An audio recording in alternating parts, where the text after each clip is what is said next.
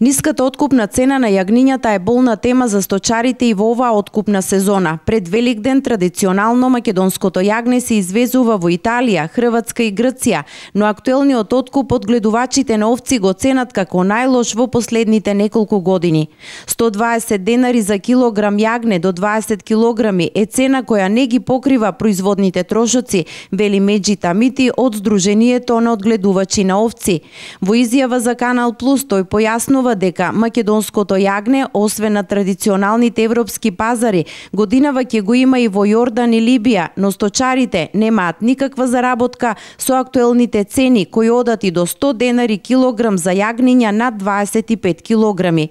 Ова заедно со неисплатените субвенции по 1000 денари од овца плюс 700 денари за јагне оставено за проширување на стадото, ги ставаат сточарите во крајно лоша состојба, кои брзаат да ги продадат јагнињата во во наредните десетина дена и покрај ниските откупни цени. Единствено сточарите кои произведуваат сточна храна и кои имаат минимални трошоци за работна рака може да прокнижат некаква заработка од актуелниот откуп на јагнињата, вели сточарот Димко Димков, чие основно стадо број 300 овци и сточарството му е семен бизнис во Штипско.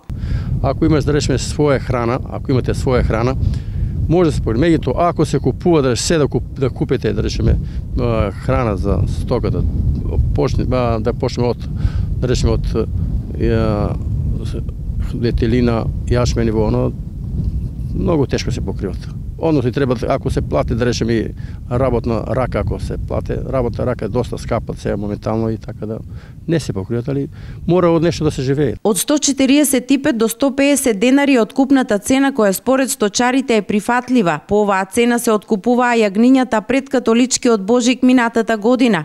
Од актуелниот откуп на македонското јагне заработуваат сите, освен сточарите, што многумина ги тера да размислуваат за намалување на стадата. Доколку не се смени нешто, од сточарство ќе живеат само оние кои ќе имаат собствено производство на сточна храна и кои нема многу да зависат од работна сила надвор од семејството, вели Димков. Сточарство многу тешко ако нема значи ако нема друга дејност, ако не се работи друга, ако нема друга дејност да се ова, многу тешко. Многу тешко е. И, има големи трошкови. Големи трошкови има и така, јас јас па истото ќе го повторам. Ако нема своја храна, значи многу е тешко. Производителите и проработувачите се согласни дека квалитетот на македонското јагне е висок, а државата од оваа стопанска дејност бележи девизен прилив од околу 15 милиони евра годишно.